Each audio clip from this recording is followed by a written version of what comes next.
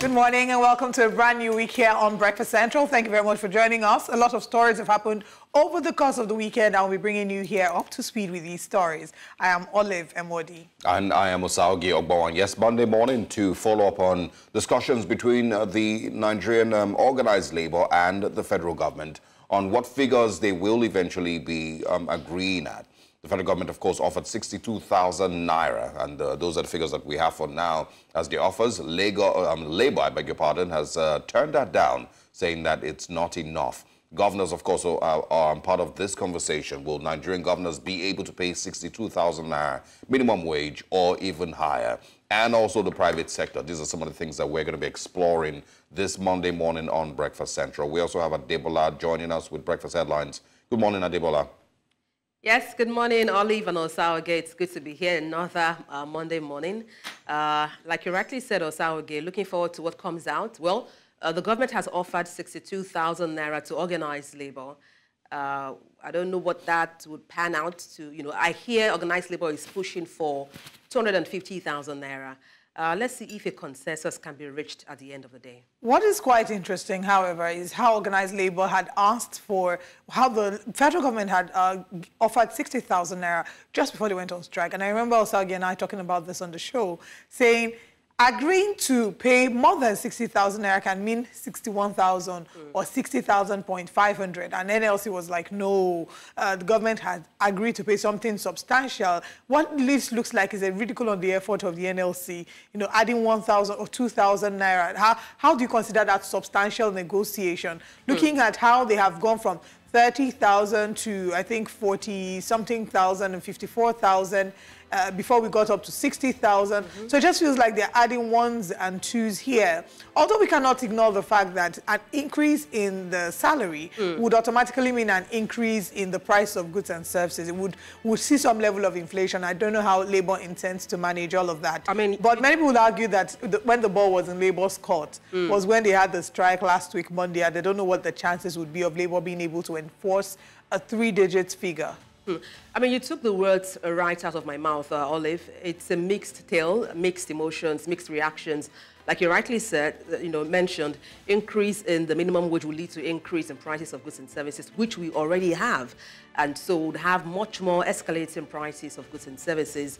Uh, some persons say, be that as it may, uh, there is a need to review the minimum wage as the average take-home of Nigerian, uh, when it comes to the purchasing power of the average Nigerian, is nothing to write home about. So it, it's a mixed bag of mixed balls. Uh, some persons say, yes, they need to increase the minimum wage. Uh, some persons say, you know what, you're just going to jacket or skyrocket inflation in Nigeria.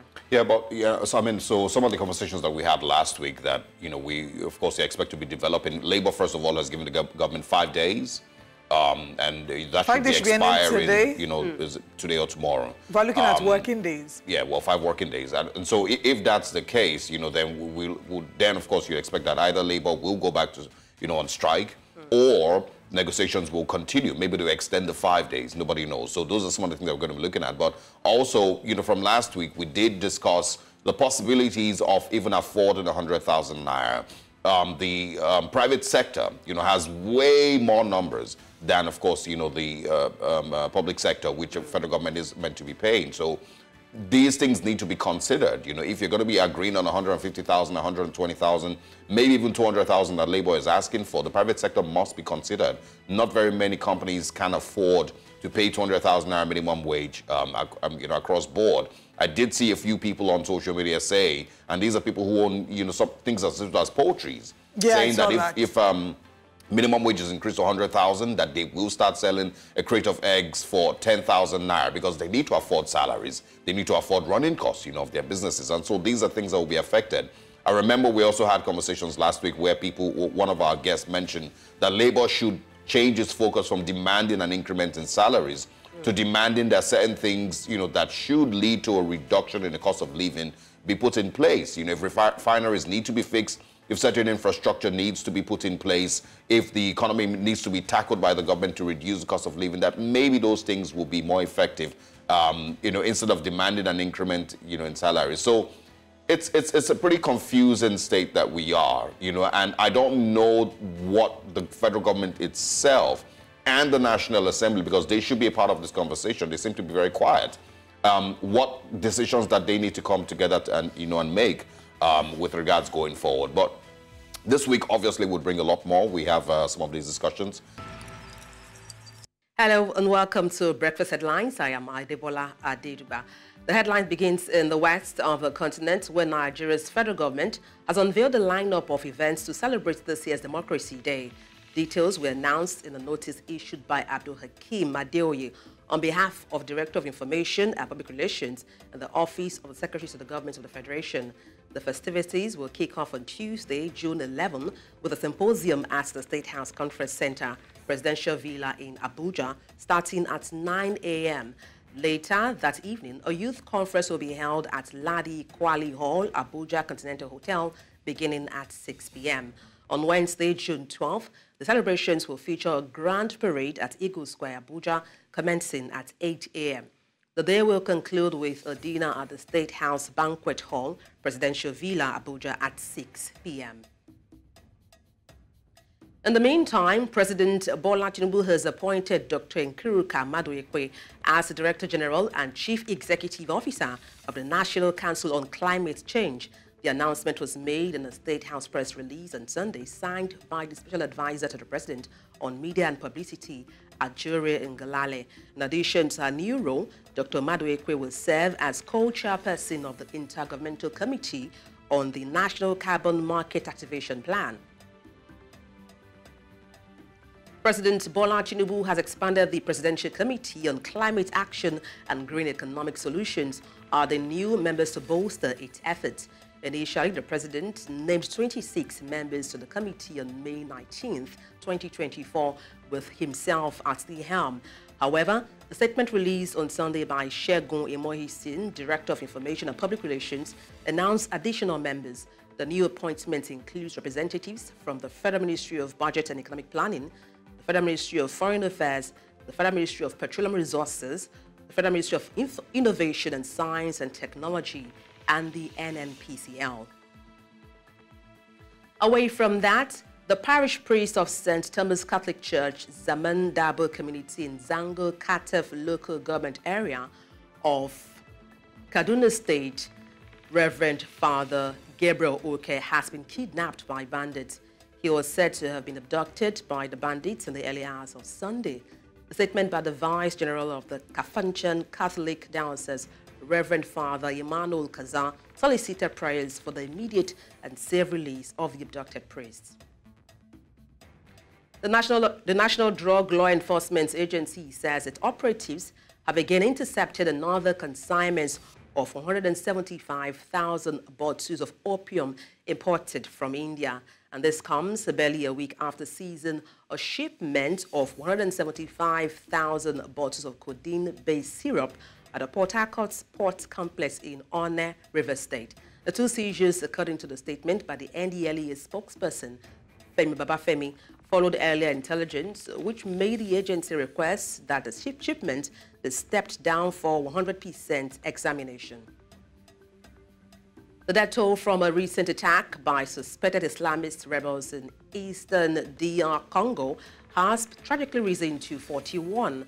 The update was provided by Congolese Army spokesman Lieutenant Colonel Mak Hazukay, who disclosed that the attack carried out on Friday was the work of the Allied Democratic Forces, a militant group now based in eastern Congo. The ADF, which has pledged allegiance to the Islamic State, frequently launches attacks, further destabilizing an already volatile region populated by numerous militant groups. And that's all on Breakfast Headlines. It's back to you, Osaoge and Olive.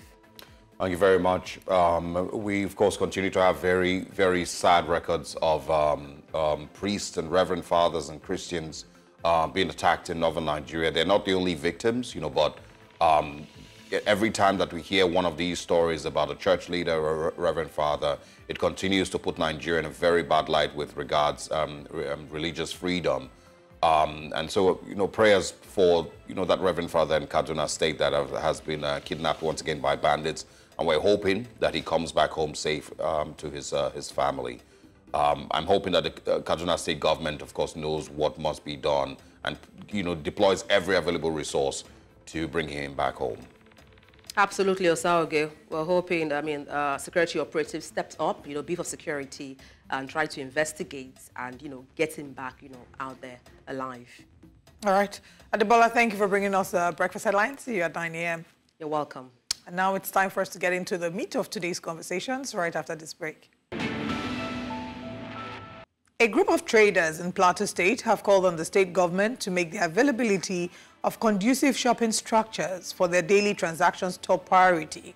This call came when News Central's crew visited Terminus, the Jos Main Market, to see the level of compliance by traders whom government had relocated from the roads to a temporary place for their transactions.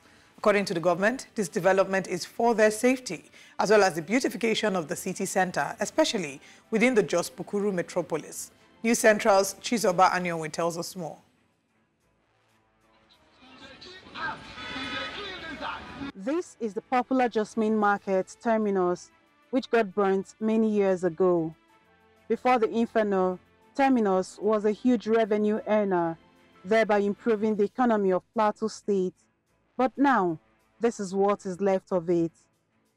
A few weeks ago, Government Executive Order 3 caught up with some traders who moved their businesses to the roadside and under makeshift structures as against the warnings of government since last September. Those structures have been demolished and the traders ordered to temporarily relocate here, just beside the burnt market. This development still doesn't sit well with these traders who are back on the roads again. We're not that happy because when the find waiting children to go eat. And this thing can't happen like this. We're not going to fight. And we're not going to call anybody. We see all of us here. They are only give us five shops. And the shop is not with us. They are not even show us the place yet. That's why. They will say they can't go inside. Some is even when crossing, they will see what they wanted to buy. So they will stay and buy. That's why we still there on the road. Despite the dangers associated with this kind of roadside transactions, this is what the affected traders have to say. Please, we are calling the government in order to look into it. They provide space for us, but the space that they provide, the head, uh, as in the people that they are in head of us, are not giving us the space. It's only when you know someone before they will give you space here, or you paid money. They never give us the place you go vacate. So now I make everybody jam on the road now. Yes. So if they give us the place, we go stay. We not go stay here again. This condition now, we, uh, we spend more than 20 years here. We are selling market, and government said that we should park inside.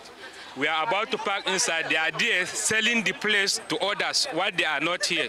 Behind me now is where government has temporarily relocated these traders for their safety and also for the beautification of the city center. However, they still prefer, some of them actually still prefer to be on the roadside, saying that that is where their customers will easily locate them for their businesses. But how this pans out with the plans of government is what everybody is waiting patiently to see.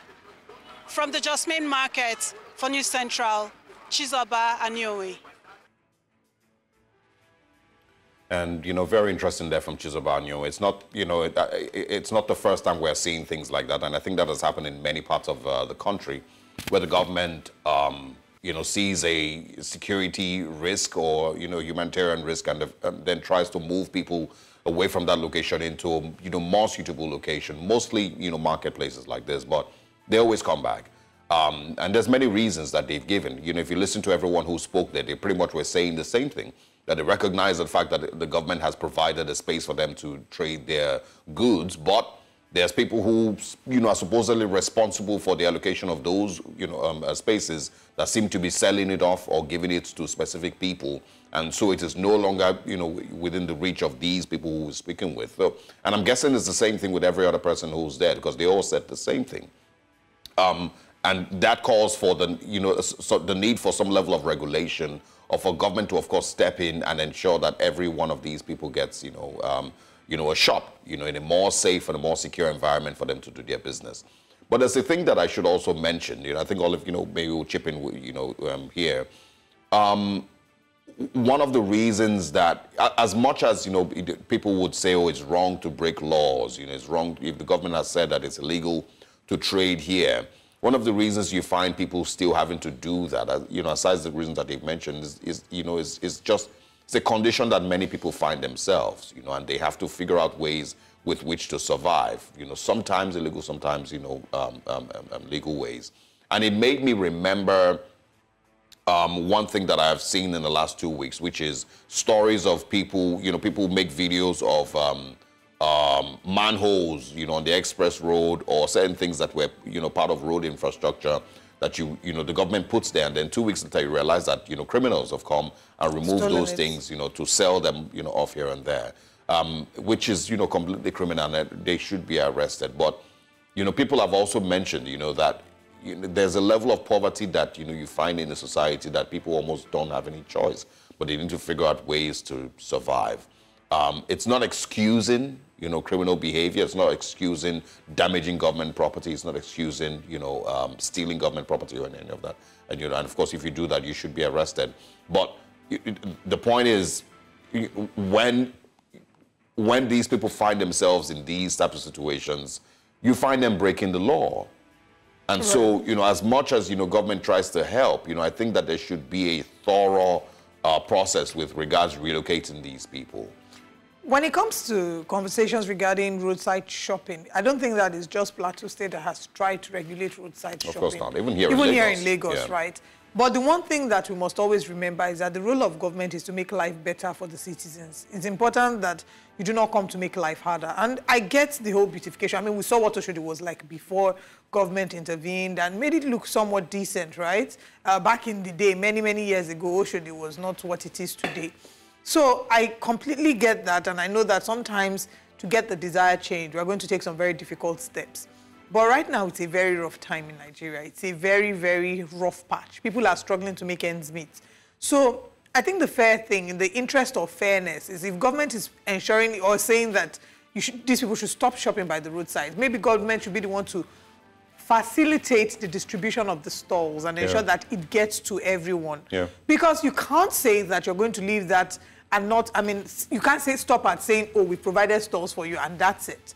We know how these things are. People will politicize it. Some people will try to make extra money yeah. from the stores to say, oh, if you want to get premium store close to the road, you know, pay extra. People will try to manipulate it. And now, now more than ever, Nigerians don't need anything that will make life a lot harder for them. Yeah. Especially those who are the uh, you know, these market women and petty traders, how much, how much can these people really make in a day? Some of them, at the very most, they are making like 10,000 naira a day because they are doing like petty sales That's for some of, of them. That's a lot of money. in, sure in this day and age, 10,000, I'm, I'm just saying, that much. yeah, but if we say 10,000 a day, that's like 310,000 in a month. And they won't sell everything. A lot of these people Some days, do you get? So the money they are making is too small for them to be for them to go through what they're actually going through. So it, it's very important that whilst we applaud the government for trying to make Plateau State, uh, you know, look very beautiful. We also know that the Nigerians need to feed. They need to have a decent quality of life. So if you're taking them away from the streets and creating alternatives for them, please go a step further and ensuring that the stalls get to the people who you know who, who, who need, need them. them. Yeah, I agree. And of course, this is this is local government level, I believe. It's not even. I don't even think it's you know the state, state government here. Yeah, this is you know some of the things that local government council, local government you know um, um, offices should be able to handle. Um, because they, of course, you know, run market, they're responsible for marketplaces and, and some of all these extras. Um, it, it, it's it's fair and you know it's a good thing that you provided you know the stores you know for these people. But like you said, go a, a, step further, you know, ensure that there's proper regulations through which these people can have can get access to these stores. If they need to come to local government office, register, get, you know, you know, a, a key allocated to them, you know, to their store in the market, then let them do that. You know, just just those extra steps that need to be taken to ensure that, you know, they, they're not denied a store because they can't pay, or they're not denied, you know, a, a store because, you know, they don't know somebody who's high up there in the market regulation. There's just too many of these persons who infuse themselves or who put themselves, you know, into, I mean, you see it in Lagos, you know, in the motor parks and, and whatnot, you know, a couple of people who take the responsibility of government, you know, to then run these places, you know, and they're not remitting any money back to the, you know, to the to the state government or to the local government. So those individuals, you know, eventually then become a clog in the wheel of progress, you know, um, for government. So um, as much as we applaud the, the, Plateau State government and any every other government who's trying to make um, you know, environment more conducive for living and for doing business. You know, I think that you, like you said, they should go and take, you know, a couple of steps further to just to ensure that uh, things are done the right way. Um, but, you know, it, thanks to Chizoba Anyonwe for that report, because those are the kind of things that we hope would get to the, you know, the, um, Right the eyes and the ears yeah. of the Plateau State government too, so they understand what is going on in the um, in those places and, you know, and the changes that they're trying to make in those locations. They understand what uh, how those things are turning out. But let's move away and talk about some other things. The Socio-Economic Rights and Accountability Project, SERAP, has filed a lawsuit against the government of President Bola Tinubu over its failure to publish spending details of the loans obtained by the governments of former presidents uh, Olusegun Obasanjo, Umaru Musa Yar'Adua, Goodluck Jonathan, and Mohamed Buhari.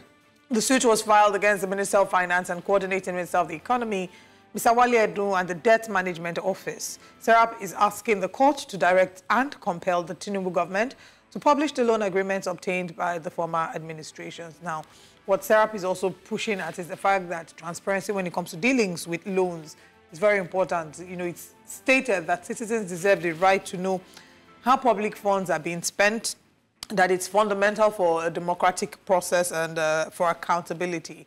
And that's what they're asking for. They're saying, show us exactly what was used. They're agreeing that transparency in loan, is, uh, loan agreements and expenditures is a very, very important part of um, executing a transparent government. And like we always talk about how there is a breach of trust between Nigerians, between the government and the governed. And one way to breach that would be to ensure that there's some level of transparency when questions like these are asked. This was filed last week Friday at the High Court.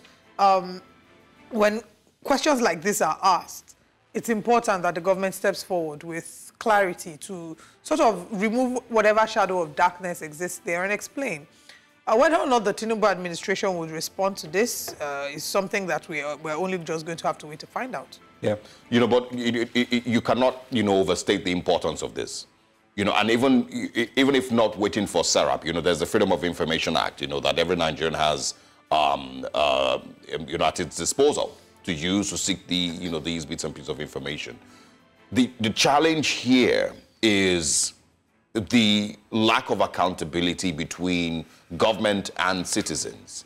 For SERAP to get to this level, for SERAP to even put this information out there, it's not because SERAP is the first person thinking about it. A lot of Nigerians generally um, have their doubts with regards how these loans have been used and Yes. have been spent. They also have their doubts as to even, you know, their Abacha um, uh, loots, that you know, that of course are returned to Nigeria, how those funds have been utilized. Oftentimes, they are joke, it's joked, uh, joked about that these loots that are returned are being are relooted. relooted. So there is that. You know, th- there is you know that huge trust deficit, and a, a lot of you know the reasons are centered around lack of you know sincerity and lack of clarity, lack of transparency between government and citizens, um, lack of a proper auditing process also.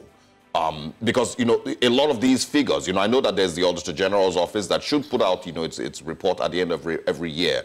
But I don't remember that there's been any time in the last decade and more, in fact, the last 30 years, that we've seen the Auditor General's report come out and they point out some of the things that are, you know, they're, they're just some facts and figures that just don't make any sense, that the government has then taken action. I know that there have been some really, really shocking um, um, revelations by the Auditor General's report in the last couple of years that were simply ignored.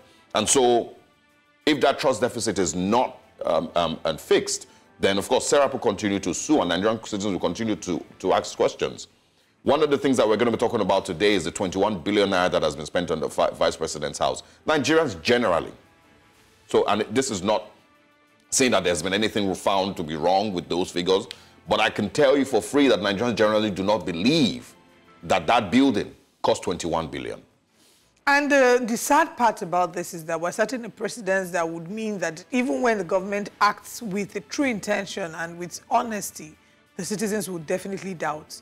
It's that doubt that we've seen permeate different sectors of our government. It's what would sort shine through at the elections. It's what we see in everyday policies that are being implemented. Even when the Senate even comes out with their intention to push certain bills, there's Yep. still a breach of trust. Oh. So we, we, we, we need to be able to breach that deficit. And the way that we can bridge that deficit is by clearance, you know, by being clear and transparent. You know, being able to say this is exactly what we got, this is exactly how we used it. Don't forget the reason Senator Ningi was suspended. Exactly, because he, he, he was some sort of a whistleblower about Yep. budgets being padded. Till today, no investigation has been carried out regarding that. Was that budget padded? Is that the end of it? Yeah, We really all don't right. know what exactly it is. Anyway, uh, we'll be bringing more updates on that story as we get them. But let's move away. Uh, we'll go on a very quick break, and when we come back, there are more conversations to look at this morning. Stay with us. You're welcome back to Breakfast Central. Minimum wage negotiations between the organized labor, the organized private sector, and the federal government ended in a gridlock on Friday as the federal government proposed 62,000 naira up from an initial offer of 57,000 naira through the labor, though the labor unions are still pushing for a higher amount of 250,000 naira. The Nigerian Governors Forum stated that if a 60,000 naira minimum wage is adopted, many states would allocate the entire Federal um, Account Allocation Committee funds to salaries, leaving no resources to develop uh, developmental projects. Now, reacting to this on Saturday, the organized labor faulted the Nigerian Governors Forum's position, saying every part of the new minimum wage agreement should be implemented, and any of the state governors who can't pay it should resign. Joining us this morning is the NLC PRO Lagos State, Ismail Ishola Adejumo. Good morning. Thanks for joining us. Good morning for having me on uh, News Central this morning. It's my Good pleasure to always be here. All right. Let, us first of all start with your um, response to the Nigerian Governors Forum, asking that you know, you know, anyone who cannot pay it should resign. Don't you think that they have a point? You know, the FAC allocation that they receive every month, if they double what their recurrent expenditure should be, um, it's going to take a lot, you know, from them. And you know, I mean- the state is almost no longer going to have enough money to do any other thing. Uh, thank you very much. Uh, as much as you know, the facts and figures are the public domain. Everybody is, uh, you know, the facts are available before everybody. And uh, if any governor at this time or the forum of the governors are saying they cannot even implement the initial 60,000 before the government now, the tripartite committee now push it to 62, which is not our own benchmark or expectation for, from them whatsoever. So I think uh, something is wrong somewhere. And I, you agree with me that too much is given, much is expected. And I said it earlier on in one of the uh, program that since the subsidy removal has been removed, most of these governors are receiving almost times 10 of their allocation. Some of them, even before the subsidy removal, were paying uh, their wage bill in the range of uh, some states, not generally now, within the uh, range of five, six billion. But some of them now, what they receive only as federal allocation, apart from the IGR, is to the tune of almost 25 billion monthly. So how can any governor justify this? They need to come clean and come to the table. They should not run from the negotiation that is ongoing. The tripartite committee, they are part of the committee. They should lay their card on the table, let everybody see, analyze it critically, and vis-a-vis the current uh, inflation rate. Before the removal, we know the inflation rate was not at this astronomical level. So if government, any governor or the forum of governor are saying this, they are trying to ab- Uh, Mr. Adejumo, we seem to be struggling with uh, your connection this morning. and to Uh, put down is a okay. way of redistributing the wealth to other people. The people, the pepper seller, the market woman, or even the landlord. Everybody will have a bit of this uh, money. Yeah. So it's going to trickle down, and it's a way of eradicating poverty. Poverty Yeah, level but you know, the, the, is- the idea of it side. trickling down, you know, just just to be clear, you know, when you're talking about it trickling down, you know, we, we also need to bear in mind that there's also the private sector. It's not just you know the public sector, you know, that needs to be affected by this increment. Um, and you also are aware that you know many state governors struggle to even pay the thirty thousand naira minimum wage when it was moved from eighteen to thirty thousand. So you know it, it, it, it might seem like you know a completely Herculean task asking that they then pay sixty thousand or hundred thousand naira minimum wage. We haven't even agreed on what the figure would be. Ah, thank you very much. You know, immediately the uh, subsidy was removed. The uh, uh, uh, private employers, I mean the organized private sector, they jack up the price of their services and goods in the market. You know how much a, a, a- bottle of Coke is sold for now. Even malt and some other goods like that. A, a tuber of yam now goes for as high as 4,005, 4,000 naira. A tuber. To the extent that so. Um, Mr. Adejumo, we seem to have some challenges with the network. Are you still with us? Yes, I'm very much with you. All right, it's only the, the, the working class, the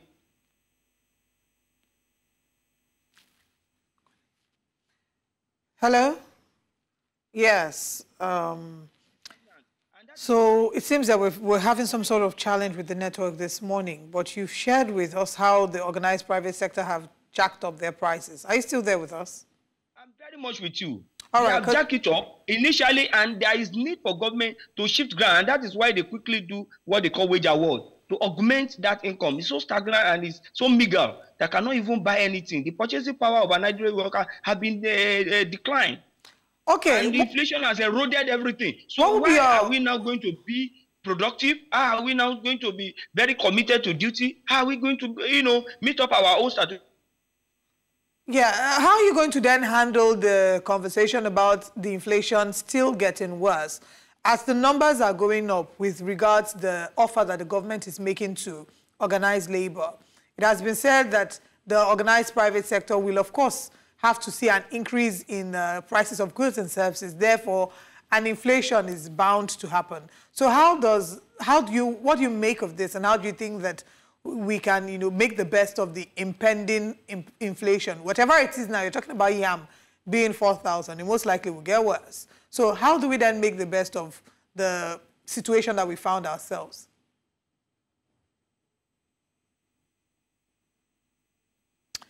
Right. Um, we are still trying to connect with uh, Ismail Ishola Adejumo, who is the NLC PRO Lagos State Council. And uh, I believe that he's back with us now. Please go ahead. Ha. The, the, the organized private sector and the public sector, uh, the government side, knows quite all right that the inflation was not at this rate. And what trickled the inflation high was this policy of uh, subsidy removal and the uh, floating of Naira. So now they have to do something urgently. The, the labor leadership are not saying per se that it has to be 494. Now the, we have shifted ground now to 250,000. And the government is offering a patch 2,000 to, to, to, to, this is uh, initial 60,000, which is not sustainable. But for their own, for their own luxury, they, it is it's sustainable for them to use almost 90 something billion for entertainment, the governor forum, and even the, the legislature too Look at the rate at which they have increased their own budgetary allocation. What are they really calling Nigerians? Some of them are rising up now to, to lend voice to the, the, the call by Nigerian labor leadership that they must do something urgently because at this point now Nigerians are frustrated. And at the time they will be aggressive. And expectation, frustration, aggression can lead to something. But do you agree? Know. But they should not put the workers to the wall. They should um, do something meaningfully that will sustain an average workers. Whilst I agree that the policies that were uh, implemented, the subsidy removal, the flotation of the naira, all of that had an impact on inflation. Do you agree that even with the increase in the minimum wage, that there's going to be further inflation? Definitely there will be inflation, and uh, the, the, government have a lot of uh, measures for controlling inflation. Do you and have an idea what these measures may be? Because so yeah, far, it hasn't really been able to potentially, to control or regulate inflation as much as we would have, the average Nigerian would have expected it to be. So do, do, how do you foresee the government is going to handle this? The, the inflation is at this moment because already the money, the large chunk of the national resources is going to a few hands. It's not properly distributed. It's not evenly distributed. That is why there is this disparity inequality in society. And there is a great uh, gap, a wide gap between the rich and the, the, the downtrodden definitely inflation will be on the high side. Government need to do something to redistribute this uh, nation resources to go through the legitimate channel so that people can really uh, purchasing power of the people can be improved and inflation will come down a bit. That is the simple logic, simple arithmetics. Oh, but wow. at this time now, the, the, the huge amount of the nation resources is in the hand of the, the few elite yeah, who are I, the ruling class. I don't know if it happens just and like some that. of them have already dollarized this money into foreign currency. So this And Yeah. all these measures, both fiscal and monetary policy of government, need to be reviewed. They need to do something concrete to make sure that there is sanity in the monetary and the fiscal policy of government. Because the, the, the, the people who are doing below the change and some other who are in- into illicit uh, trading are already mopping fund from the economy. And that is why few money is uh, huge amount of money is in the circulation, but it's not reflecting the life of an average Nigerians. Yeah. I don't know if it happens just like They that. are sharing that trillions you- every month. Yeah. Trillions are being shared, uh, which is distributed from the local state government to the local government. What are they doing with this money? They are Yeah, saying they Mr. Adejumo, pay hold on. wage of, uh, Kindly hold on. uh, You know, I, I don't know if it happens just like that, you know, that once you increase purchasing power, inflation, you know, starts to reduce. Yeah, it, it may not play out just like that. Um, but I, I also want to, you know, ask you, you know, you have given the, the government five days um, uh, before, of course, you know, you would either maybe return back to your strike um, um, after it was suspended. Um, tell us what happens next. If in the next I mean, when the five days expires and the government still doesn't give you a figure that the organized labor is comfortable with, do you return back to, you know, your indefinite strike? Or, you know, would there maybe be an extension? That's one. And then um, another thing is, um, what do you what do you foresee as you know the government's you know plan you know for oh not not that one. Another thing is there's been arguments as to whether labor should redirect its focus from instead of demanding higher minimum wage to demanding that the Nigerian government does all it can to reduce the cost of living, to diversify our economy, to improve on crude oil production, to and, and some of all these things. So do you agree that labor maybe should redirect its focus from instead of fighting for increased minimum wage to fighting that the government reduces, you know, the cost of living? So if you can address those two uh, things, what happens after you your five much. days expires? And then the second question. let me take one after the other. Yeah. The first one is the issue of uh, where do we go from here? Uh, you know, in the labor circle, we have hierarchies and uh, organs that you know take decisions before government uh, uh, engagement. At this very critical moment, the leadership have already met. They have reviewed and they have already given a window to Mr. President, who is the commander in chief, the CEO of this country, to look at the proposal from the tripartite committee. Because you know, when the negotiation was ongoing, it was the president that called on the minister of finance and the coordinating minister for economy to quickly work out a template that will show a that will show clearly the picture of what the wage bill will look like and that will give him an insight to say, okay, from this agitation and from what is on ground, we can able to shift ground from this uh, point A to point B or point C. And the leadership so much believe in the president being an activist. They repose some confidence in him that he will do the needful at this very uh, critical uh, time in our nation to ensure that at least the workers who has already promised that they will have a, a living wage, we have something close to living wage, if not living wage. Because at this time, nobody can survive with that. And we are, it is that window that we have now. The moment the president make his final pronouncement, the leadership will meet again and analyze and take decision as to the way forward. As to the area of uh, the diversification of the economy that we should look inward instead of the continuous uh, agitation for minimum wage. Before now, we have been trying to match government policy to policy in terms of this tax, tax, tax regime. When the issue of uh, uh, electricity tariff was introduced, we staged a protest and we call on Nigerians to join us. Even as part of our demand now, it's still one of the, the cardinal demand that that uh, increase in tariffs should be reviewed downward because that one will affect everybody, both the working class and not working class. The people who are in the small and uh, small uh, businesses, how can they survive? How much uh, electricity will you use? Even petrol, which is the alternative source of power, is not affordable. Some are selling now as a rate of 8, 850, 900 in some places, even 1,000, as the case may be. So we urge government to reduce this tax, tax, tax policy, which will cripple, you know, the purchasing power of Nigerians. And at the same time, diversify, as you have said. This issue of diversification, I don't think is something that we need to be agitating for again.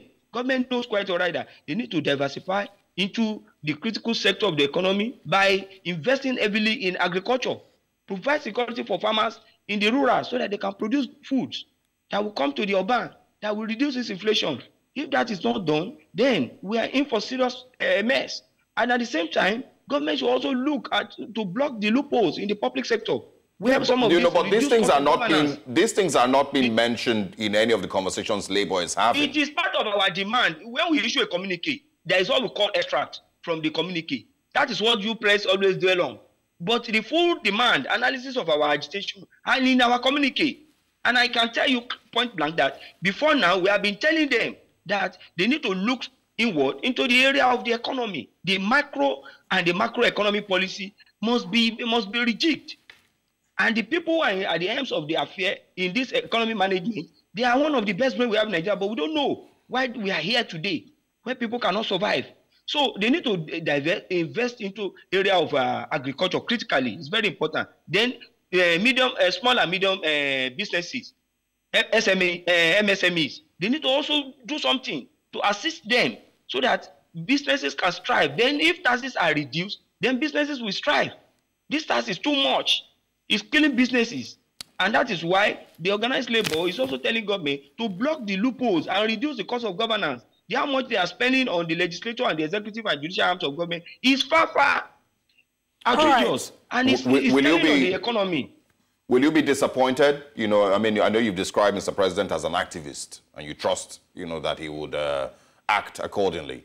Will you be disappointed, you know, if the president doesn't, you know, um, go further than 62,000, or even, you know, consider your demands?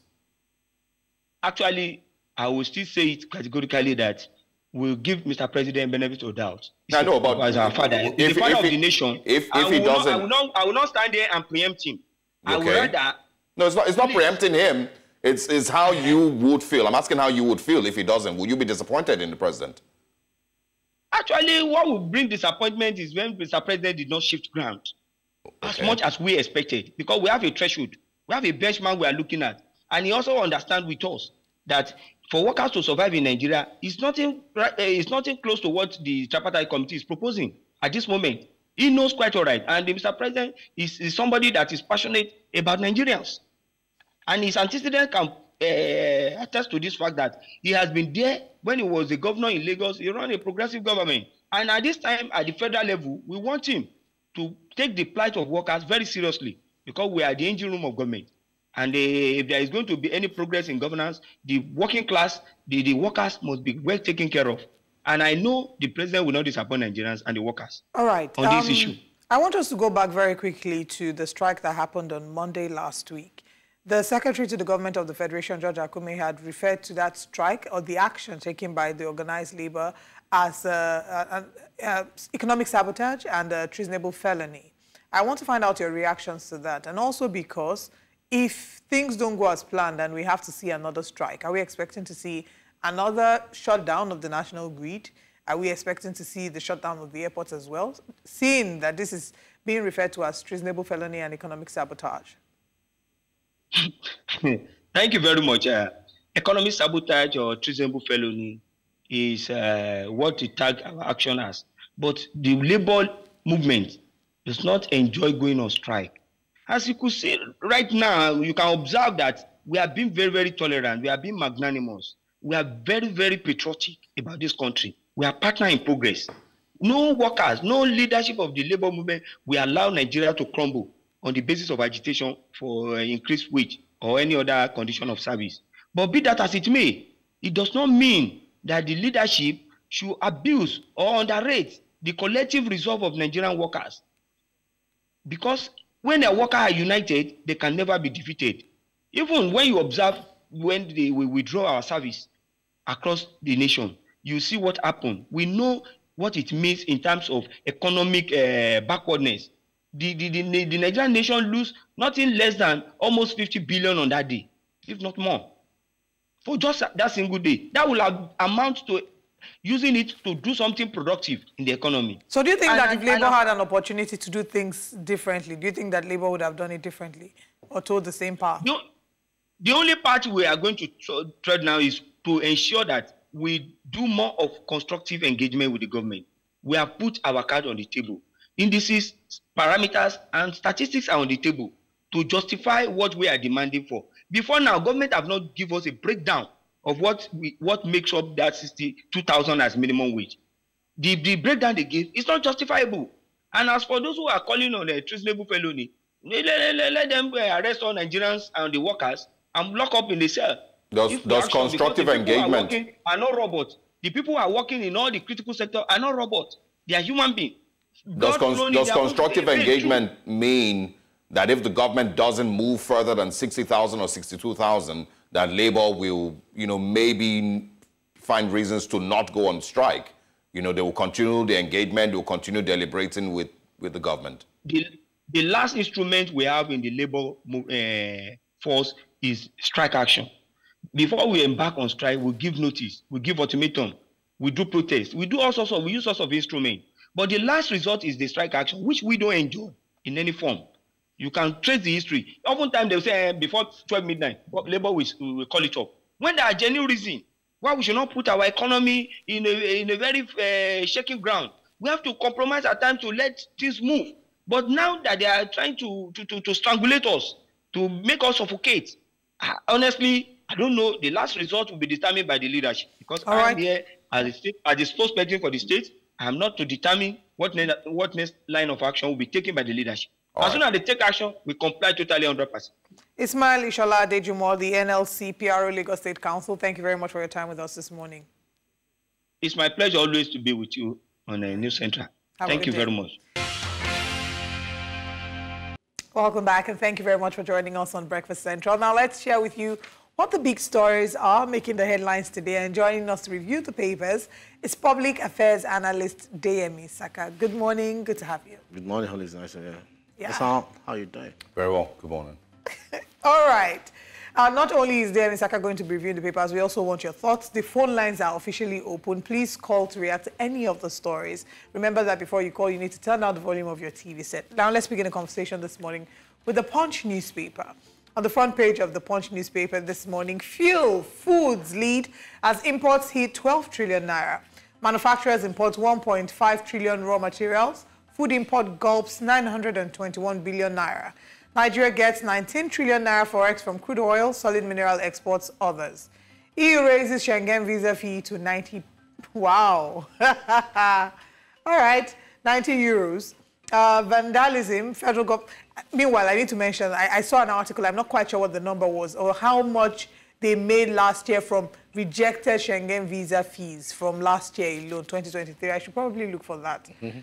Uh, vandalism, federal government tightens security on Third Mainland Bridge. Democracy Day, federal government to hold parade and youth summit and dinner. Police students, 25 others abducted on Abuja Nasarawa Highway. Local refining may crash petrol price to 300 naira per litre, um, according to modular refineries. States work on total electricity subsidy removal and new tariff. Marketers register with Dangote refinery ahead of loading. And final story, minimum wage talks end today. Labour awaits Tinubu's nod. And, okay, yeah, this is one more. Reps to meet governors as Borno opposes state police. That's all we have on the punch. Let's head to this Nigeria. All right, this Nigerian newspapers this morning. Big story there says uh, struggling to pay salaries over 50% operating uh, surplus deduction. Trade associations, workers want policy reversal. Experts urge federal government to peg policy at 20% in first instance. Serap sues federal government over ex-president's failure to account for loans. And also police storm criminals hideout in FCT, Kaduna Forest as they arrest suspects. How Kano Governor Yusuf paid 1.3 billion naira NECO NBAIS incurred uh, from Ganduje's administration. And we can also find here vandalism, federal government tightening security on Third Mainland Bridge. Picture on the screen there, President Bola Tinubu, the FCT Minister Nyesom Wike, Minister of State for the FCT Maria, Maria Mahmood, and uh, others at the inauguration of engineering infrastructure in Guzape district in Abuja at the weekend. Um, some of the things that make people say Nyesom Wike is best performing minister. well, these are the stories on this Nigeria. Let's go to the Daily Independent and see what we can find. All right, on the front page of the Daily Independent, Despite CBN assurances, three banks show signs of distress, according to analysts. Please, they should tell us early. Let's quickly go and move our money. and they want to kill those banks. Eh? They want to kill those banks. Yeah, well, we're seeing that Anal analysts are the ones saying that there are some signs, some banks showing signs of distress. We know that Heritage Bank is one down, um, and um, NI NDIC is handling that. So we don't know. CBN is telling us to calm down. For now, go with what CBN is saying, but please, you should let us know. APC wins all seats in Yobe Council poll. Refrain from issues you know nothing about, Atiku tells Shettima. Naira devaluation impacting positively on exports, according to customs. Serap sues federal government over failure to account for loans by ex-presidents. Oando contributes 550 million out of 925 million dollars for NNPCL's project Gazelle. UN group urges government to take lead in education development. At the top of the paper, we have Tinubu okay's mandate for special envoy on climate action. Northern elders ask federal government to set up National Pastoralist Commission. Wow. And the final one, troops eliminate 11 terrorists in Abia, Zamfara, others. I think we should start off with Serap suing federal government over failure to account for loans by ex-presidents because that's a conversation that we had earlier today. Serap is saying that there is no transparency with regards how the loans in the past administrations have been spent and have been disbursed. So they're asking this current administration, I think it was on Friday, they sued, you know, they filed this in the High Court.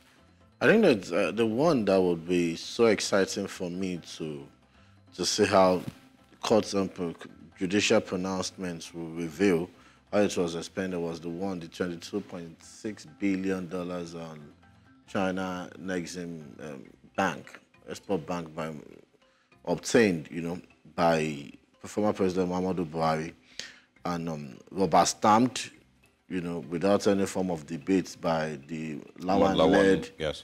Senate. And, and I'm saying this not because I want to polarize the country more.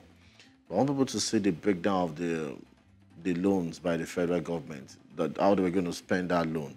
Not a, not a cent, a project of a cent was yeah. allocated to Southeast as a region. Not a project worth a cent was allocated to that region and some of that. Um, you probably want to say NTA. NTA got 200 million dollars or so out of that. Was meant to get 200 million. 200 was it 200 million? Yeah, 200 million dollars for oh, upgrade. No, 500, 500, 500 million, 500 million yeah. for upgrade. I don't yeah. know if we saw that, if that happened. There were even some um, headings for like um, West Africa livestock, blah blah, um, cassava or whatever, you know, maize in that in that in that in that budget uh, in that um, spending. So I want that to be looked into. because you can't just you can't just you know plunge Nigerians and the future of you know the future of those you know still in heaven into huge debt and you cannot account for it. And you know, that should be looked into. No, but but I mean, where is where is the key problem? Is it you know just lack of a proper auditing process or is this just the way things work in Nigeria, where you take loans in billions of dollars and you know create frivolous um, uh, um, reasons, you know, where the money is allo allocated to, including the humanitarian affairs ministry. I remember that you know the loans also were directed there.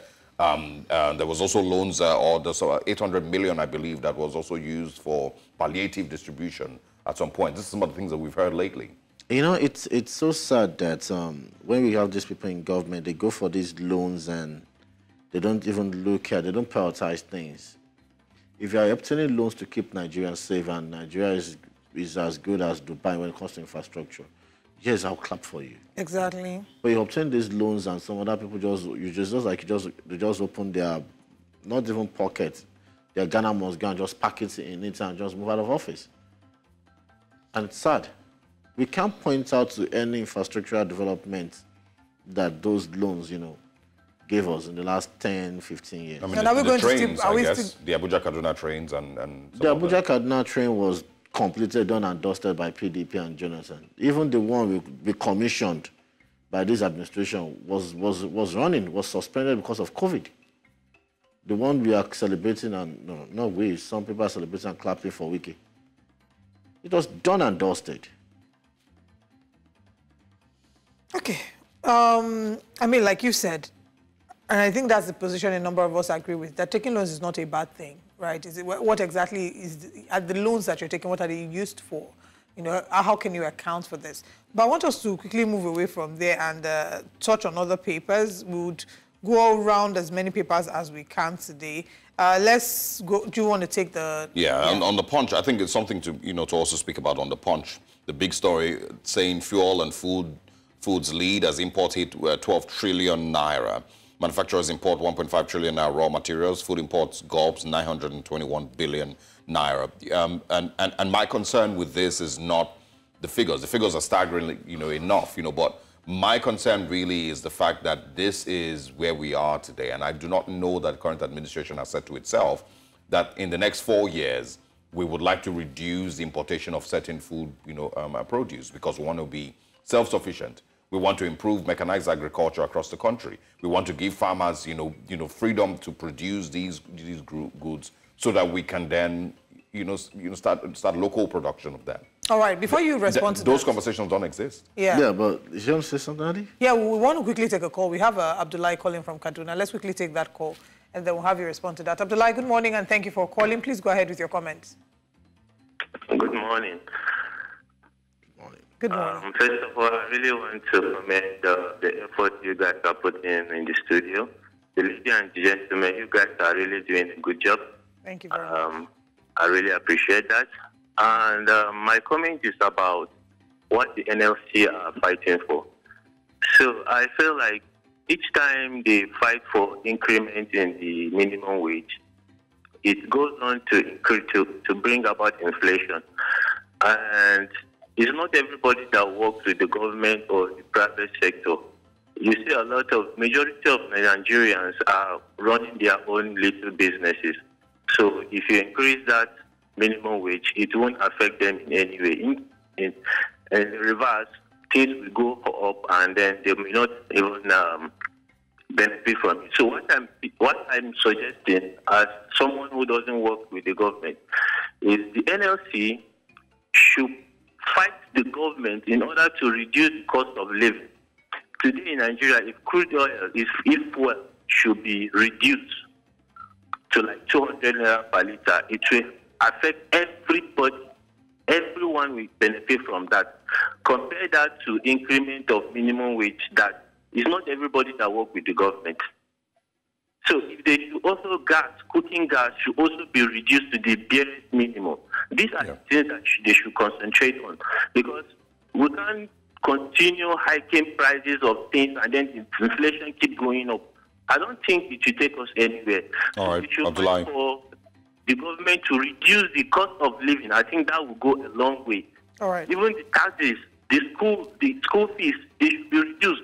That way, everybody will benefit from it. All right, Abdullah, thank you so much for calling and sharing your thoughts. on that. I think we should also, we should let Abdullah know that um, the Minimum Wage Act or law yeah, stipulates that at I think three, five, four years, at some Five point, years. three years, but now they've amended to five years. It should be reviewed upwardly, upward, and that tells you that in every growing economy there's inflation. The value of the dollar in 1979 in America is not the same value as we speak today, because a lot of things comes to place, you know, comes to be a population explosion and what have you.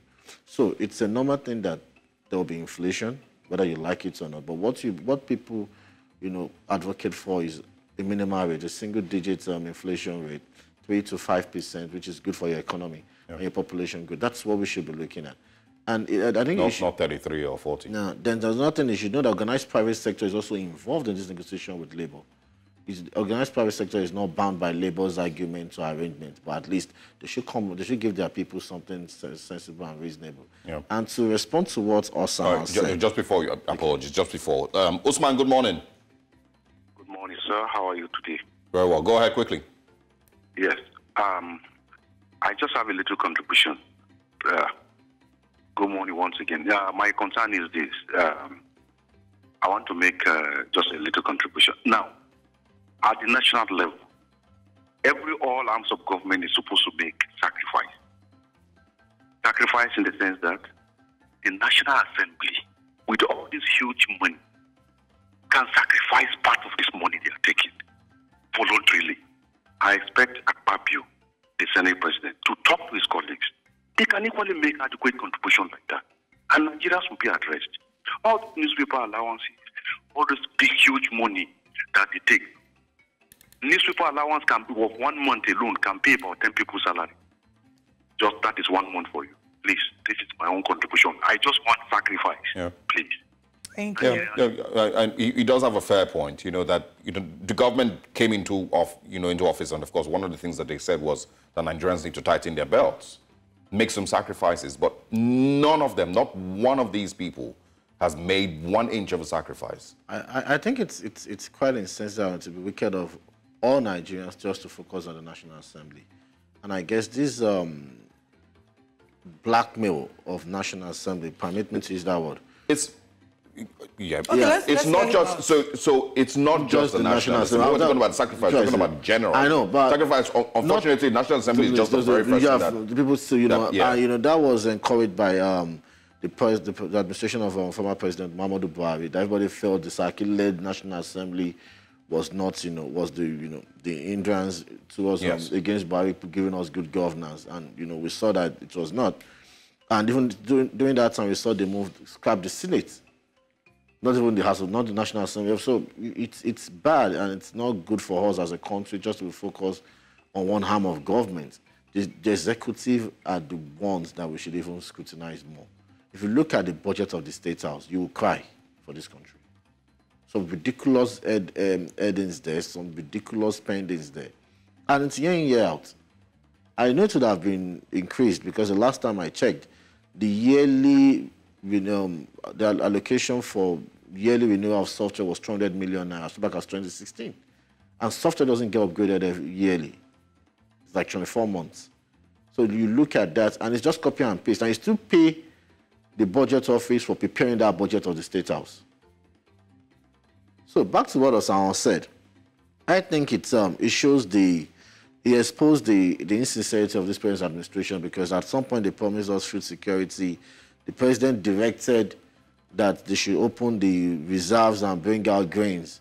And if you are still importing food as much as one point something trillion, where was the where, so where are the reserves that the government ordered people to, you know, the Minister of Agri to open up and give things out to Nigerians? So it shows that the food security is still far away from us. We can't be self-sufficient if we don't deal with insecurity and the rising cost of energy, which includes, you know, which preservation, transportation of um, produce from farms to the market. Yeah. Because to get something down from Kano, Niger, Benue to Lagos or other parts of the country, it comes at a very huge cost. All right, let's uh, take a call from Ebonyi State. We have Prince Igwe calling. Good morning. Thank you for calling. Please go ahead with your comment. Good morning. Nice having me here. So I want to contribute to when we talk about the. Uh, can you hear me? Yes, we Yeah, can. please Please go ahead. Yeah. Uh, a lot needs to be done when it comes to transportation. Um, this thing has not been taken serious. A lot of drivers, we, I'm into transport. I'm the chairman of Return, Ebonyi State. But we pay enough tax to the federal government that at the end of it, we will not get anything. The fuel is high. No matter how much you put into agriculture in the country, and the, the, the, the, the taxes are not being regulated the way it's supposed to be, it will not need any good thing. We pay a lot of taxes to operate from one, one state to another. You, each state you enter, you pay tax as if you are not from the country. You will see a group of people from nowhere coming to the federal highway asking for taxes. And when you put all these things into the movement, you will see that it's adding to the high cost of the, the food in the country. And nobody has taken it. So we are part of Labour's uh, organization. But we are not being recognized in any way in the country. Any corner you enter, you see somebody trying to extort you. Even the people on the road, even sometimes the, the law enforcement agencies. All this money has been given to, to the uh, petty traders. And nobody talk about it. And we are talking about minimum wage. Yes, even though the money is being increased and nothing is being done into transport sector, because I've never seen any economy that wants to progress that doesn't talk, uh, take care of the transport system. The money will still, uh, people will still be suffering. Yeah. And it is a problem in this country. Yeah. The, the presenters and even the uh, analysts, in the, you will witness what I'm saying that you people pay from one post and nobody recognize drivers in the country. We have no minimum wage. We have no, uh, we have no gratuity. We have nothing. Yeah. All right. Nothing. All right, uh, Prince Igwe, thanks for sharing. He, he also, of course, you know, has his own concerns, um, which, you know, I recognize. You know, he doesn't think that, you know, there's enough conversations concerning the welfare of drivers across the country. Um, I'm sure everybody would say this. You know, everybody in you know, almost all the fields in the country would say the same thing. Healthcare workers would say the same thing. You know, Nigerian railway workers would say the same thing. Everybody. Um, but you know, I'm, I'm, I'm happy that he also got to to pour that out. Just go on. Yeah, but so back to what we were saying, and to buttress this point, you probably if you travel, if you join in Lagos, Benin, yeah, you see a lot of um, the constitute nuisance on the road, asking for a, different kinds of levies and issuing receipts for a lot of things from radio tax to this and that, and he, he has a point, and they go, and you find out those things are not regulated. Some people are just fleecing Nigerians and some people are just smiling to the bank. So we need to look at a lot of things. And back to this issue. And the issue of um, fuel importation in there still shows you that we're still paying subsidy. Whether they like it or not. Just because if you look at the current exchange rate and look at the pump price of um, PMS yeah. across the country, there's a form of subsidy because it doesn't tally. So the government should come out clean. Well, they've denied it. They've told us that, you know, no, we shouldn't say what please, please, don't don't call that a denial because that is an that's an affront on our intelligence. Because the the the reporter was like, yes, it was a draft. It, it wasn't an official document. So that means that memo was real, but because it hasn't been signed official. Yeah. Then secondly, he said there was no provision for subsidy in 2024 budget. But he didn't speak to the arguments or the allegations that he paid so much for subsidy in 2023. So that thing was an unintelligent attempt at, at uh, probably bamboozling or hypnotizing Nigerians. Yeah. All right. Um, I want us to still look at this Nigerian newspaper, front page of this Nigeria. There's a story there um, talking about MDA struggling to pay salaries over 50% operating surplus deduction. Um, trade associations, workers want policy reversal. Experts urge federal government to peg policy at 20% in first instance policy introduced to regain 1 trillion naira yearly loss, says federal government. Well, yes. Please go ahead. I don't know why. Uh, a lot of MDAs might be struggling to pay salaries. because you, you ask yourself, I think it's, it's the laziness of successive governments. When you talk about job creation and how to reduce unemployment, the only thing they think of is open up the civil service, both at state, local, state, and federal level. That's what we're paying for you find some some people that have no business to be in the civil service. That's true. That's the truth. And you have some process or departments or operations in the civil service that should be automated as we speak. But because they just want to keep some people on the job, it's not being done. So that's why we have. I, I, I pray we get it right as a country. And, and I pray successive governments don't just pay lip service um, to small, medium scale enterprise, they probably look at it so well because that's the only thing that will sustain this economy with our growing population. Yeah. Um, I, I, mean, I, I, think we can quickly throw in the Vanguard. I'm not sure if you took uh, uh, uh, stories from the Vanguard before, but let's quickly just put the Vanguard on screen and, and show our viewers uh, stories that says experts see danger around minimum wage battle. Um, will, of course, you know, they go back on strike or not? You know, should the conversation change into reduction in the cost of living instead of an increase in minimum wage? Would the federal government, you know, maybe move to 100,000 naira or not? Uh, you know, these are things I would find out this week. Basic education, why UBE Act must be reviewed. Senate UBEC boss and others are saying. Also, top of the screen, airfares prices skyrocket, distort travel plans. Uh, how Jonathan, wife, and others forced Wike on River, says Clark. We can also find a financial crisis. Discos pay 21.9 billion naira for 235 billion naira worth of um, uh, electricity. Very interesting. and also, gunmen abducted 30 passengers in Nasarawa. Obi mocks INEC. South Africa elections didn't experience glitches. That's not something I think we probably should speak, uh, you know, about the, you know, South African elections, you know, and comparing, you know, what happened in Nigeria in 2023 with what South Africa did a few weeks ago. Um, and you know the the the reaction you know of people like Peter Obi and other people who who have said you know that you know the giant of Africa will completely disgraced itself in its elections. Uh, you see, uh, it's um, I don't think uh, Mahmood, the chairman of INEC, should still have the moral rights or probably the confidence to speak when talk about elections or the we critique or probably question the conduct of the 2023 general elections, what they should do or what they should be doing is apologizing to Nigerians. And if they want to give him another chance, you know, he probably should do it right. You saw how he was, you know, thumping his chest, saying this and saying that, and everything he said he was going to do, he didn't do. Everything that I said was going to happen under his, um, his watch and leadership didn't happen.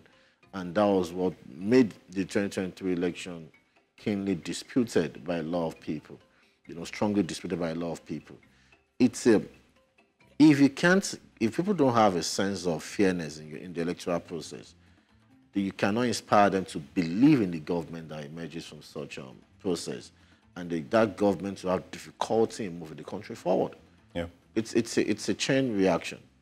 So I think INEC, if INEC really wants this country to grow, if, politic, if the political class really wants this country to grow, they should allow the electoral system to, you know, play out, play itself out, you know, nicely, truthfully, sincerely, and, you know, transparently.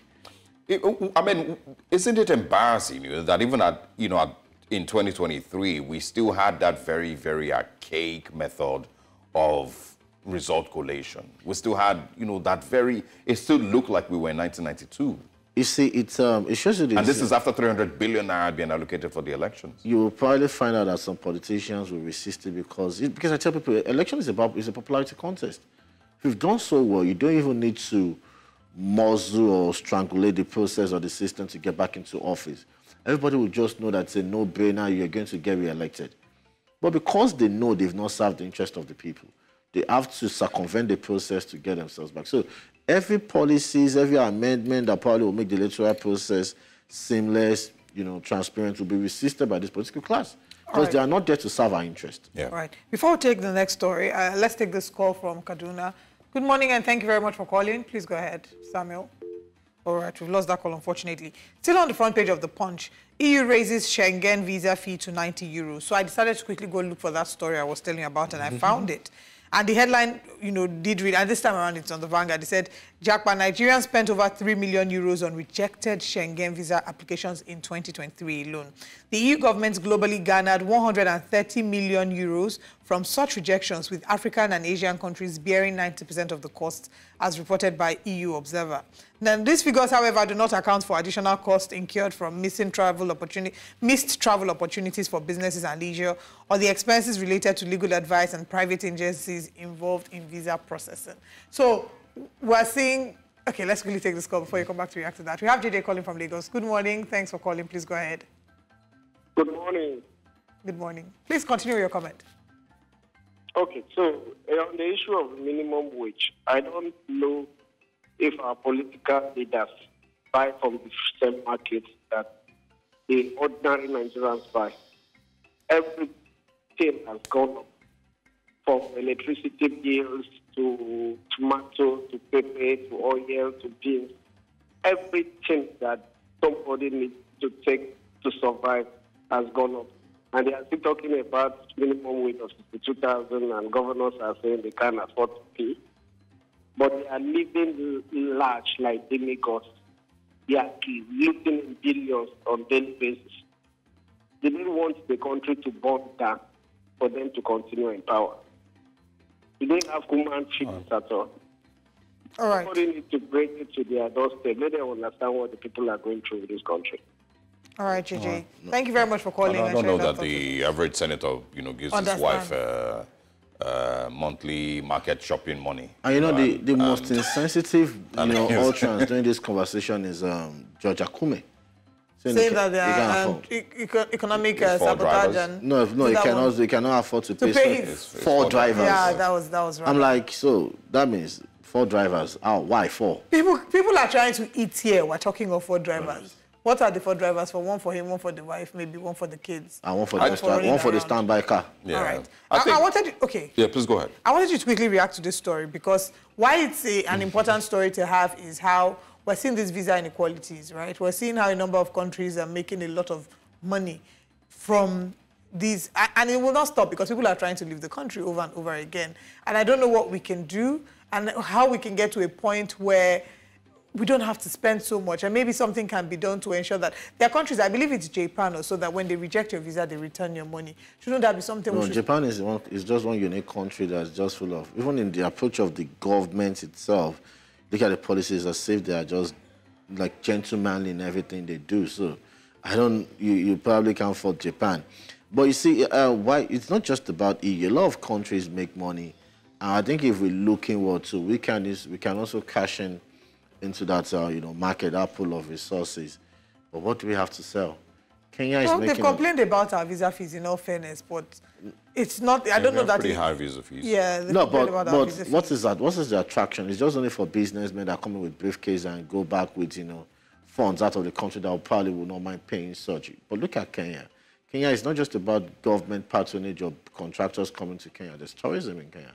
Mauritius is growing as well we should look at but Nigeria we've not dealt with insecurity. Exactly. We can't have we can't we can't cash in on these things. So yeah.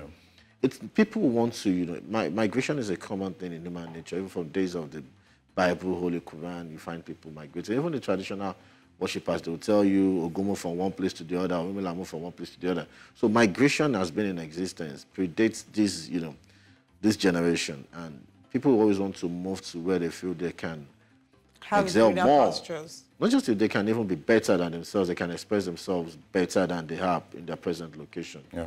So I I think that just just to have a way to be part of the market. Yeah.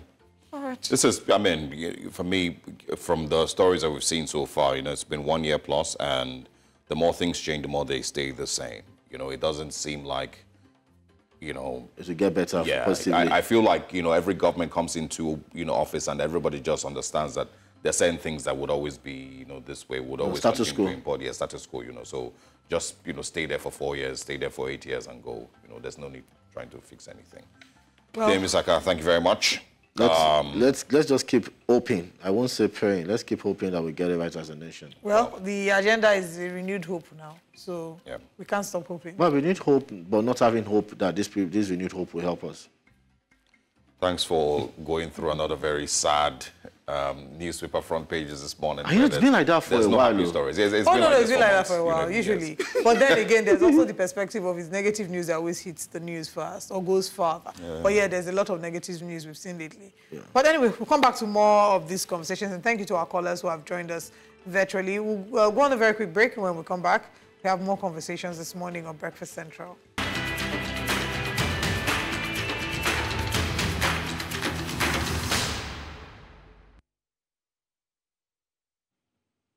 Welcome once again. The current Nigerian government seems to be the most tone-deaf government we've had in recent times because of all the things Nigeria in its current state needs to spend money on. If a serious government has taken a look at the current state of affairs and truly is keen on working on a better life for its citizens, if that government, for example, put together a 100-item list, I'm sure that a serious government wouldn't find space to put 21 billion naira for the vice president's residence on that list. Just imagine.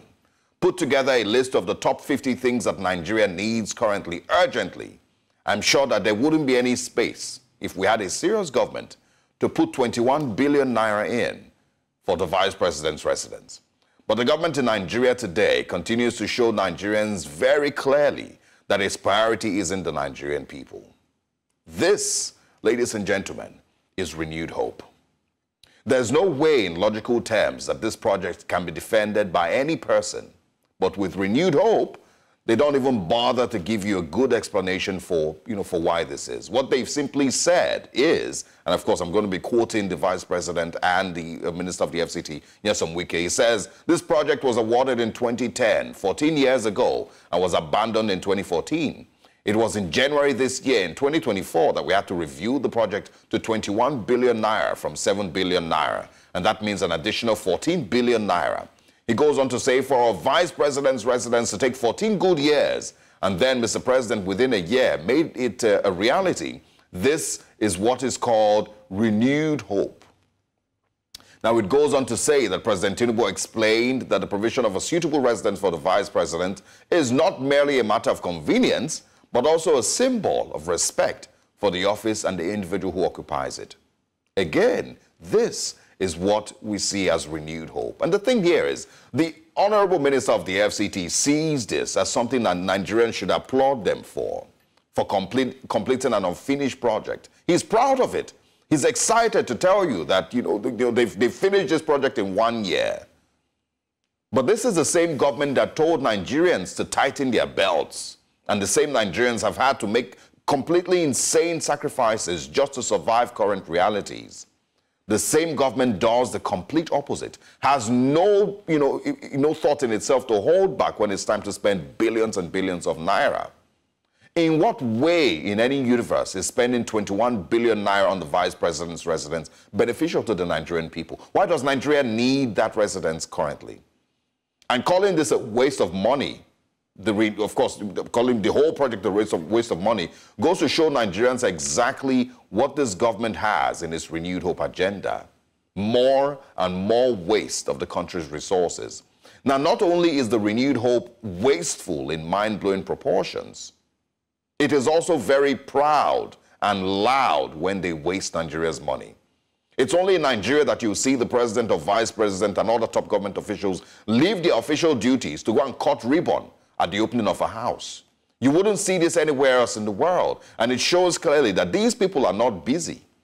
They have their priorities very, very twisted. One would expect that when such a, an expense is brought to the National Assembly or Mr. President's table, they will look at it and say, no, not right now, because Nigeria needs every available penny to be redirected into healthcare and education, security, and other more important issues. That's what you would expect in a country that knows that it doesn't have money to waste. But Nigeria has money to waste. The Nigerian government has money to waste. The Renewed Hope agenda has billions of naira to waste. Don't be fooled. And so it is in my view that we need to stop trying to remind the presidency about the sufferings of Nigerians. Stop this whole talk about, oh, Mr. President needs to be made aware that Nigerians are going through a lot. Because don't be deceived. It's not that they are not aware. They just have other things that they are focused on in the, in the interim. Good morning, Nigerians.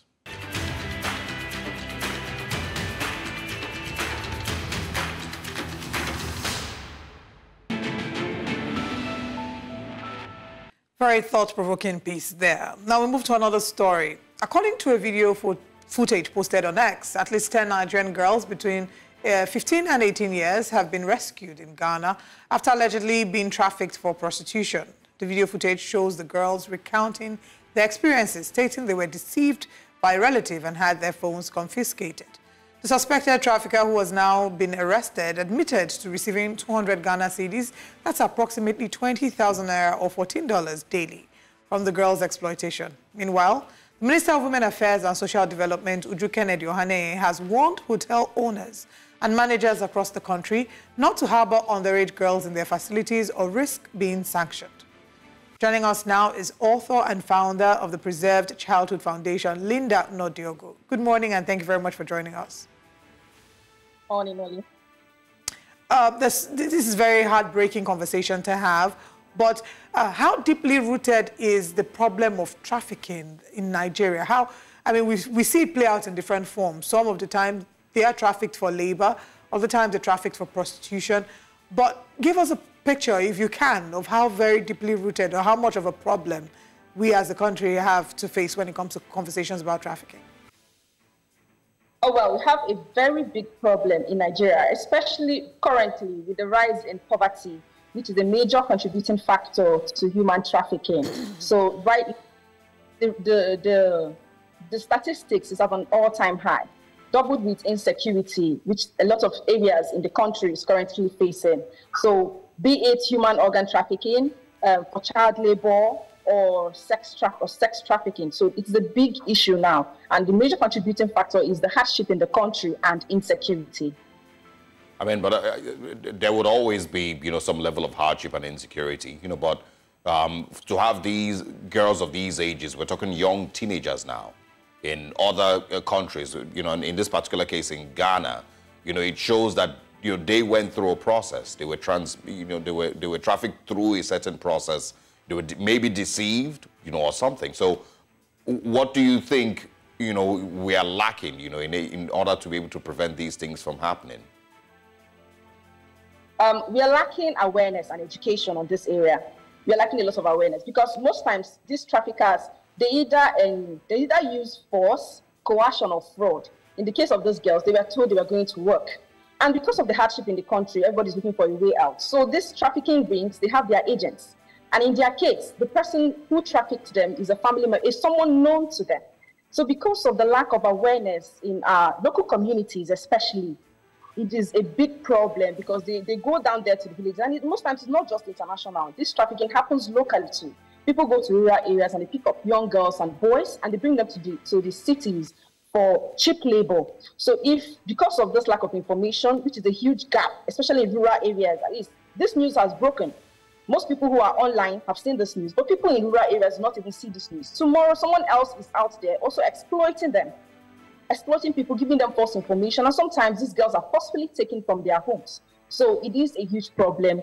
This, this, I think there needs there need for a social campaign to inform people, especially yeah. young girls, about this trafficking because women and children are more vulnerable to traffickers. Yeah. Do, do you have, a, you know, any um, figures, you know, as to the number of, maybe average number of Nigerian girls that are scattered across the continent, you know, currently being, you know, being used as, you know, sexual, you know, slaves in different parts of the continent and maybe even outside the continent? I do not have a specific, I do not have a specific statistics, a figure for that at the moment. All right. Uh, okay, go ahead, sorry. Say that again, please. I do not have a specific statistics or figure for the number of girls that are being sent out of the country, different parts of the world, because it's not just the continent, different parts of the world. And our, our borders are porous. Our security officials are, are, are corrupt. So, and most times data is not being collected. The accurate data is not being collected. So you cannot really tell the actual number of girls that are being trafficked. All right, uh, we'll come back to talk about that. But let's talk about what exactly is driving this. Would you say that we have, uh, I mean, some people would talk about poverty being a key player in this situation. Um, others would say it's beyond poverty. There's some element of greed that is involved here. So what would you say are some of the norms or behaviors that contribute to this issue? How can we, as a society, you know, be held accountable? What are the things we need to look within and address to ensure, ensure that, you know, trafficking doesn't become the norm? while poverty plays a part, I would agree that if some sort of greed also comes to play when it comes to trafficking. Because um, you check the kind of things they are told, these girls, and yes, a lot of them come from poor, poor um, families, or some of them are even runaways. They are vulnerable already. But greed, in the sense that some of the things they are promises, some of the things they are promised, is not something that is reachable or attainable. But because they want more, because they seek for more, they make them vulnerable to these things. Another thing is um, limited education and awareness. And migration, and like I talked about, insecurity. The social media is another platform that traffickers also use. They tend to, you know, show off a certain lifestyle that they want to use and lure these girls to want to belong to whatever it is they are doing. And then there is demand for cheap labor. Go out there in different homes. There are young children who are being um, who are being used for cheap labor, and um, this is a major contributing factor because when there is no demand, there is no supply. So um, we need to really look into these factors that has made human trafficking become the order of the day. Well, I mean, if, if the demand and supply aspect, you know, is almost going to be impossible to, to completely take out. Um, it's not just Nigerians that are being trafficked. You know, there's, you know, human trafficking across the world, across the globe. Um, you know, what, what we, you know, must do in Nigeria is to reduce the numbers and to try to protect these young girls as much as possible. Um, so I want to talk about punitive measures, intellig intelligence gathering, um, and you know the uh, likelihood of arresting some of the people who perpetrate these things, um, from family members who allow the uh, younger ones to be trafficked, uh, to of course the traffickers themselves. You know, has there been any improvement in the process in in in, arresting these uh, persons, in blocking these networks, you know, with which these girls are being trafficked? lately? Um, I would say that we are a, a society that we react to news, and most times you're not proactive to these things. Every day we hear breaking news of these things, but most times it is when it has happened.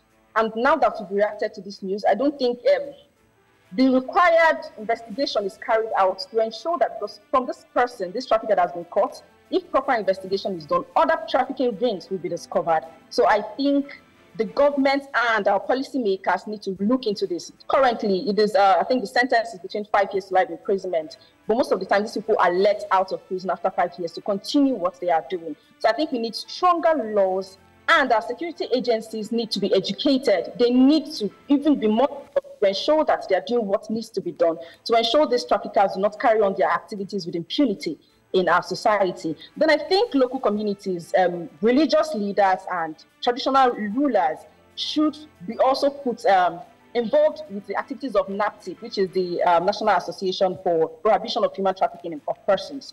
So I think all these things need to be put in place. The corruption in our security agency, amongst our security agencies, it's very, very important that that is addressed. Because sometimes they see these girls being moved in their numbers and they don't ask questions once they are bribed. So it is a big problem. Okay, now let's talk about support. Now we've we've just heard the news about the girls who have been rescued and will be returned to Nigeria shortly. Would you say that we have um, systems that strongly support these girls, their rehabilitation, some form of trauma support to help them heal through the trauma they've been through and rehabilitate them into society? I would want to point out that the first mistake that's been made is showing off the faces of these girls. Their faces are trending already on social media, and that's like the first mistake. When you're trying to rehabilitate someone, you do not put out their image uh, online. Okay, so I think that's something we need to address when news like this break out to protect the identity of these girls. And um, yes, there might be a few um, for rehabilitation for them, but most times it is not. Um, it is not long-standing as they are brought home to Nigeria, a few things, you know, meet, meet and greet, all those things. And next thing, they are sent home. They are sent home to that poverty that drove them to this point at, in the first place. And you find out a lot of these girls get victimized. So I think um, something needs to be set up to reorientate these girls for proper counseling because of these girls are used, they are, they've been used for sex as sex workers. So there really needs to be reorientation and counseling for this for the survivors and some form of employment or empowerment for them so that they do not need to go back or they will not be victimized in things like this. Yeah. Um, is, uh, just to you know share you know some statistics you know that I uh, you found the um, government of Nigeria investigated 1,242 cases of human trafficking, including 511 sex trafficking cases, 282 labor trafficking cases. The government also identified 1,634 victims, including 841 sex trafficking victims and 500 uh, 43 um, uh, victims. Um, it's also initiated prosecutions of 78 suspects, 67 for sex trafficking and 11 for labor trafficking. So it's a mess. It's a complete mess. You know, and, you know obviously, NAPTIP and um, other um, um, bodies need to, of course, you know, step in to help reduce this. But, you know, our borders are porous. Uh, the illegal migration is still a thing that happens, you know, in, in, in Nigeria. And you know, these are things that still need to be tackled. Are there male victims? Can you share with us, you know, if there's also, you know, uh, victims, the male child, victims of uh, trafficking?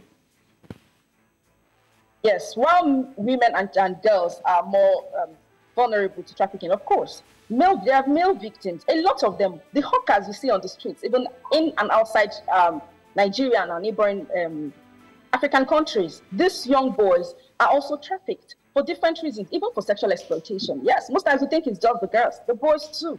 They are used as sex slaves in different parts of the world. So the boys are also part of this statistic. While the girls and the women are more, the boys are, and even men, even men, anybody can be trafficked. Some people of different gender and different ages.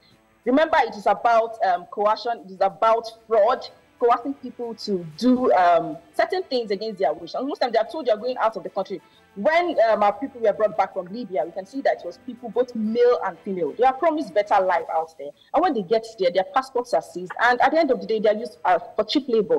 And most times they're not paid at all. So yes, even the men and the boys are part of it. Okay. All right. Um, Linda Unodiogu, thank you so much for joining us this morning. And uh, we look forward to seeing better strides being taken, uh, especially when it comes to conversations about trafficking, and less of our young people being trafficked. Thank you so much for joining us this morning. All right. Thank you very much for joining us on today's broadcast. By the time we're back tomorrow, we should have some form of uh, feedback regarding what uh, organized labor has decided. We're hoping to see that there'll be some positive feedback regarding their negotiation with the federal government. But until we come your way again, I am Olive Emodi. And also hoping for brighter stories in the newspapers tomorrow. Hopefully, you know, Tuesday brings something better. But we wish you a very productive Monday ahead. Thank you very much for joining us. Uh, I am Osagie Ogmowan. See you tomorrow.